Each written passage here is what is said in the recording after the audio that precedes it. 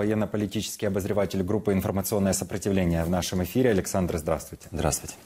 Доброго дня. Александр, ну мы много раз, наверное, уже обсуждали значение дрона в этой современной войне. Наши военные отмечают, что россияне тоже сейчас учатся в этой войне, тоже усиливают свои силы разного типа дронами на линии фронта.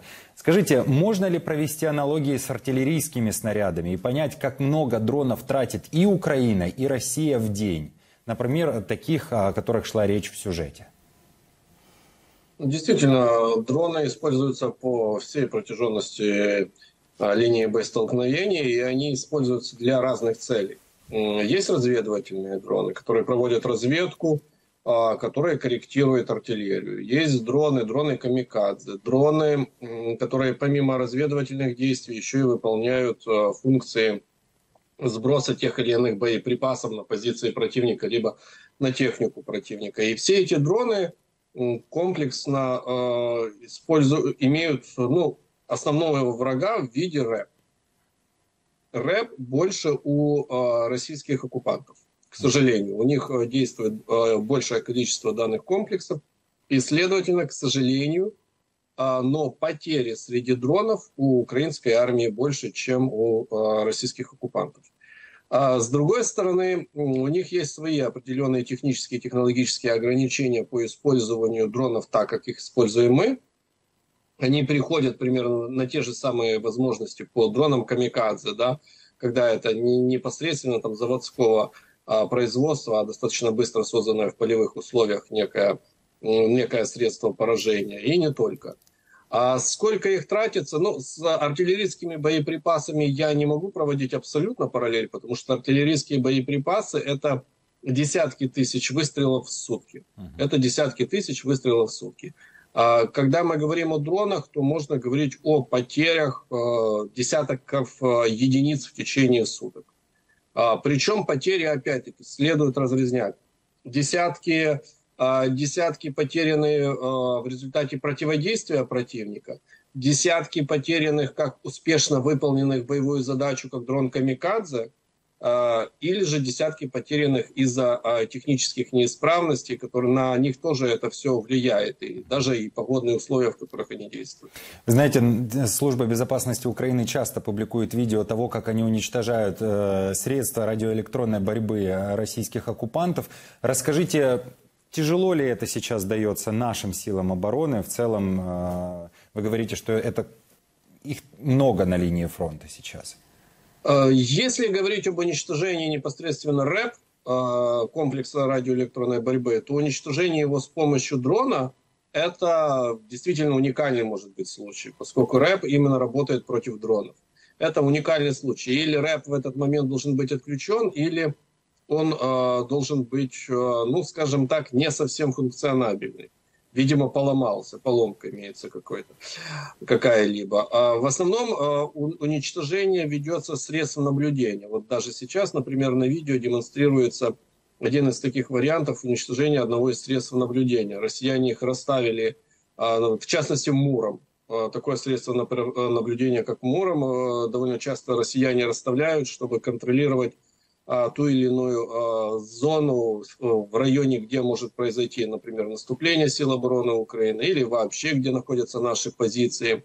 А, поэтому это очень важно для уменьшения поступления разведывательной оперативной информации а, противнику.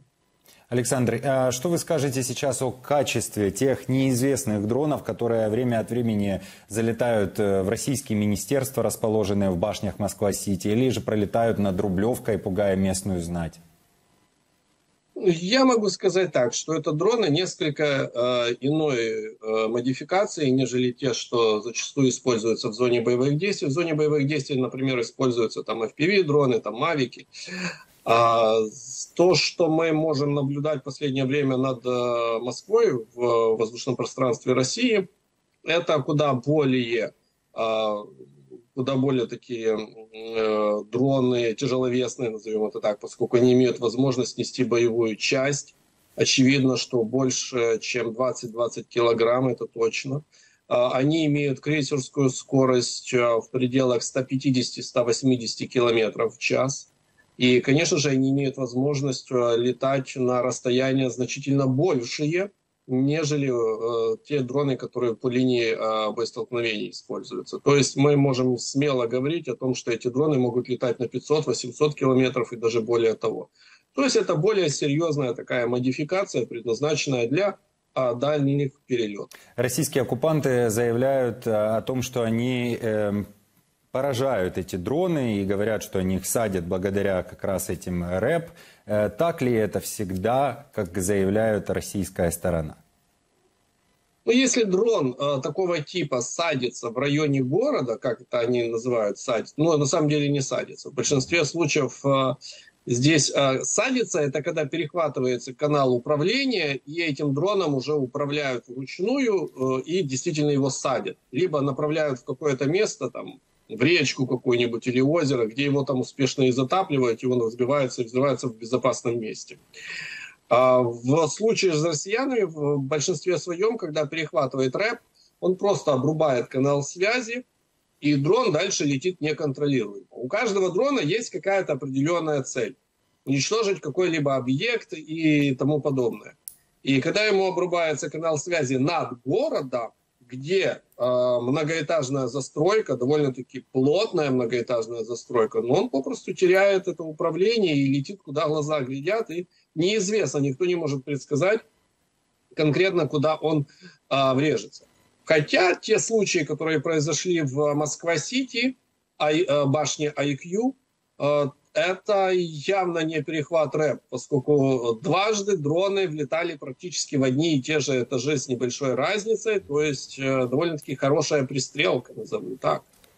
А, но а, от рэба э, действительно спастись очень непросто. Единственное, это когда сам объект, дрон, например, или крылатая ракета, он сам по себе является комплексом рэп, и способен ставить э, помехи имеет защиту от э, воздействия уже комплексов э, противника.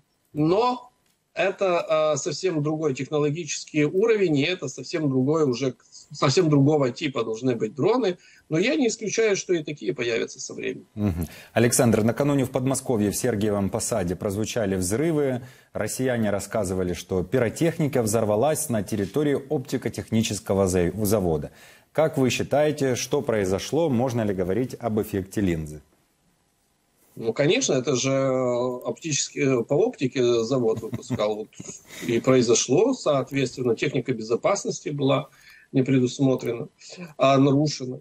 А, ну, в целом, пока каких-либо ну, заявлений, что самое интересное, почему-то я не слышал заявлений в адрес Украины со стороны Российской Федерации.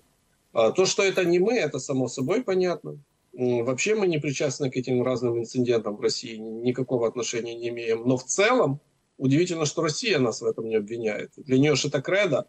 А, даже, скажем так, а, если брать те техногенные катастрофы, которые у них происходили именно по техногенной причине, ну, например, газопровод, который 30 лет не ремонтировался, труба уже проржавела, и он взрывается.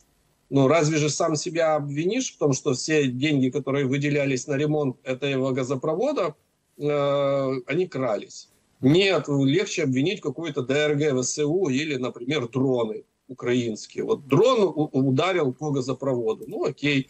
И таким образом э, снимаешь с себя ответственность. Но в данном случае это не прозвучало. То есть вот что э, настораживает. Почему-то Россия не обвинила Украину в том, что э, Украина может быть причастна к данному инциденту. Э, странное явление, не так ли? Возможно, это обусловлено с тем, что Россия в данном случае не пользуется этим нарративом, поскольку, ну, это же совсем уже а, унижение самой себя, неспособность обеспечить охраной и защитой настолько важное предприятие угу. стратегического значения. Причем, в, опять-таки, в районе Москвы, даже, скажем так, Сергиев Посад, он находится немного северо-восточнее от Москвы, то есть это аж за Москвой.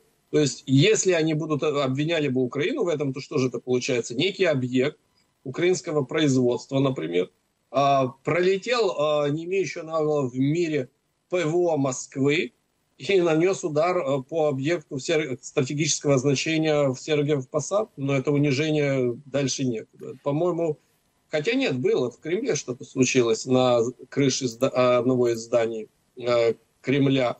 Дважды причем. Но да. Э, это, наверное, было что-то другое. Александр, у нас есть еще кадры того, что произошло в Сергиевом Посаде, в частности, что находили, собственно, вокруг этой территории. Я попрошу сейчас режиссеров показать. Вот, вот какие-то элементы валяются. Как вы считаете, что это могло быть? Э, честно говоря, деформированный элемент э, очень сложно сказать, но я бы сказал, что он схож либо с 122 м выстрелом 122 э, калибра, либо 115 калибра. Но опять-таки нужно наявно смотреть и рассматривать. То есть это, это выглядит как боеприпас. Либо танковый выстрел, либо артиллерийский выстрел. То есть э, они несколько отличаются. Один для нарезного ствола, другой для гладкоствольного орудия. Но опять-таки по размерам, вот, не, не, ну, скажем так, не, не, не имея возможности потрогать руками, так сложно сказать, э, к какому именно типу относится. Но о салютах и фейерверках вряд ли идет речь. Не, ну снаряды же это тоже своего рода некая пиротехника. И давайте, как анонсировали, поговорим сейчас с вами еще о беспилотниках, только теперь уже морских. Морские надводные беспилотные аппараты становятся все более важным Э, элементом морской войне для нанесения ударов по кораблям, которые играют значительную роль в российских морских поставках. Об этом сообщает э, Министерство обороны Великобритании. Александр, какую вы роль отводите сейчас надводным дронам и что скажете об их эффективности? Мы видим, что эффективность очень высокая. Даже несмотря на то, что э, российские э, оккупанты имеют возможность время от времени отбивать подобного рода атаки, э, они все равно ограничены в этих возможностях. Например, в ночное время суток э, отбивать такие атаки, ну, очень сложно. Практически сводится все э, к фиаско. Э, это первый момент. Второй момент. Мы видим, как... Ну, вот, вот сейчас мы конкретно наблюдаем за атакой на большой десантный корабль проекта 775 uh-huh. Оленегорский горняк. А, несколько моментов очень важных. Сколько стоит этот э, дрон, э, безэкипажный катер, который сейчас направляется к этому большому десантному кораблю, и сколько стоит э, в настоящее время этот БДК? Какова его стоимость? При том, что Россия не может, не имеет возможности строить на своих верфях а, БДК проекта 775. То есть этот корабль сам по себе уже является уникальным а его потеря невосполнима, некомпенсируема. А, то есть тут еще очень важен этот момент. По сути, дешевые в сравнении с дорогущими а, корветами, фрегатами, большими десантными кораблями, а, безэкипажные катера представляют для всей этой армады российской реальную угрозу. Реальную угрозу. И если бы это был, например, небольшой десантный э, корабль водоизмещением 4000 тонн, а если бы это был корвет водоизмещением до 1000 тонн, то он бы гарантированно затонул. Это гарантированная потеря корвета. Александр, ну а... возникает, да, прям логический вопрос. Сколько же стоит такой дрон, сколько стоит такой корабль? Это, наверное, в сотни раз разнятся эти, или в тысячи раз, в сотни тысяч раз разнятся эти цены? Я не могу сказать, сколько стоит такой э, безэкипажный катер. Э, не могу. Э, мне сложно оценить. Но я скажу так, это, э, не, не используя как э, стопроцентную правду, но это 150, 200, 250 тысяч долларов. Примерно так. Может быть такая расценка. Я не исключаю, вот в таких пределах. Но мы говорим о кораблях, стоимость которых сотни миллионов долларов. Вот, вот она разница. Хорошо. Найдут ли россияне методы противодействия таким э, беспилотникам? И как считаете, как в целом будет развиваться э, это направление вот, вооружения? Что будет с морскими дронами в будущем? Ведь, вероятно, сейчас Они многие страны наблюдают за этим опытом даже в акватории Черного моря. Э, они будут совершенствоваться, они будут эволюционировать. Мы даже сейчас видим эволюцию надводных дронов, как они увеличивают дальность э, плавания, как они увеличивают качество управления на расстоянии как они увеличивают боевую часть и так далее и тому подобное. А россияне что-то э, экстраординарное не смогут противопоставить. Они будут стараться защищать свои порты боновыми заграждениями, но это не панацея абсолютно вообще. Боновое заграждение не является панацеей. В свою очередь, корабли в открытом море защищены только тем вооружением, которое имеется у них на борту. И оно не всегда, опять-таки, может эффективно применяться, особенно в ночное время суток. Ну и мы понимаем, что потери армии Российской Федерации у моря, вероятно, такие, какими их себе оккупанты не представляли. Александр, скажите, интересное ваше мнение, насколько достижимо или недостижимо, э, наоборот, э, цель сейчас э, для вооруженных сил Украины в виде российской подводной лодки? К сожалению, российская подводная лодка является целью только тогда, когда она в надводном положении а в надводном положении она зачастую э, в порту. Ну, например, в том же самом Севастополе, в Стрелецкой бухте и так далее. А, то есть, если удается прорваться в бухту Севастополя некоему надводному дрону и а, направленно нанести удар по а, той же самой подводной лодке, которая находится в надводном положении, так, да, конечно, это вполне реально.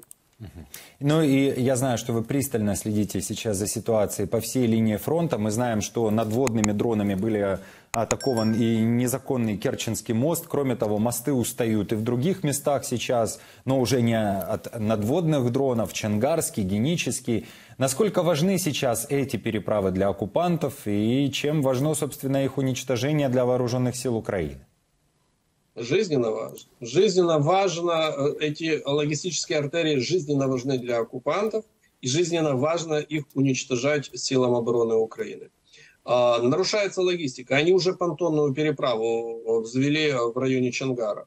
А, но она не дает э, возможности полноценно перебрасывать силы и средства в тех объемах, в которых, например, перебрасывалось бы через а, функционирующую дорогу. И э, в целом, э, если даже перенаправить на Армянск, это плюс 150-170 километров не наилучших дорог, э, если опять переезжать в Запорожскую область с Чеплынки, э, это все э, влияет на темпы поставок сил и средств российской группировки на юге. Ну и, соответственно, когда темпы обеспечения передовых подразделений падают, передовые подразделения – а теряют в своих возможностях, в своем функционале. Поэтому это критично для россиян, и это э, крайне выгодно для наших украинских военных. Скажите, а все эти взрывы на этих мостах, э, связаны ли с этими взрывами передвижение военной техники через Мариуполь в направлении Бердянска? Это один из маршрутов, это одно из направлений. Кстати, на Бердянск неоднократно заходили большие десантные корабли, и, например, из Таганрога тоже курсировали периодично вот такие вот э, направления. Э, да, они могут использовать э, эту автомобильную дорогу, но, например, в отличие от э, крымского направления, да, через транзитный узел Крым, она не такая безопасная. Она вообще не безопасна, скажем так. А по мере продвижения сил обороны Украины на юг и освобождения новых территорий, ну, этот маршрут вообще может стать для них экстремально критическим. И, Александр, давайте с вами поговорим о ситуации на востоке страны, в частности в Харьковской области. Сегодня появилось сообщение от Купенской городской военной администрации. Власти начали обязательную эвакуацию из 37 населенных пунктов Купенского района в связи с усилением российских обстрелов. Мы знаем, что приграничные районы страдают очень сильно. Оккупанты как вы говорили, огромное количество сейчас артиллерийских снарядов тратят и других снарядов. Что вы скажете об этом направлении? Почему там сейчас оно э, важно для россиян? Почему там пытаются что-то как-то делать, продвигаться, но получают, вероятно, определенный отпор от ВСУ? Да, у них э, не получается пока как-то э, отметиться с захватами больших территорий и какими-то рывками серьезными. В основном они упираются в наши линии обороны, но действительно а, меры предосторожности важны, поскольку участятся, разительно участятся в ближайшее время обстрелы а, гражданских объектов, населенных пунктов, а, поэтому эвакуация действительно нужна. Но она не говорит о том, что там есть угроза оккупации опять Купинского района и Купинска. В целом для россиян видится это направление как единственное, где они могут наступать, но мы видим, что это так себе, это дискуссионно. А второй момент, они таким образом пытаются отвлечь наше внимание от Запорожской области и Донецкой, чтобы мы перетянули часть своих подразделений именно на Харьковщину и Луганскую область для усиления нашей обороны там. И таким образом ослаб бы напор и давление в Запорожской области. То есть у них две задачи такие. Создать видимость какого-то наступления, чтобы его преподносить своему потребителю информационного фастфуда, в том числе, кстати, внутреннему потребителю, и параллельно ослабить наше давление на юг.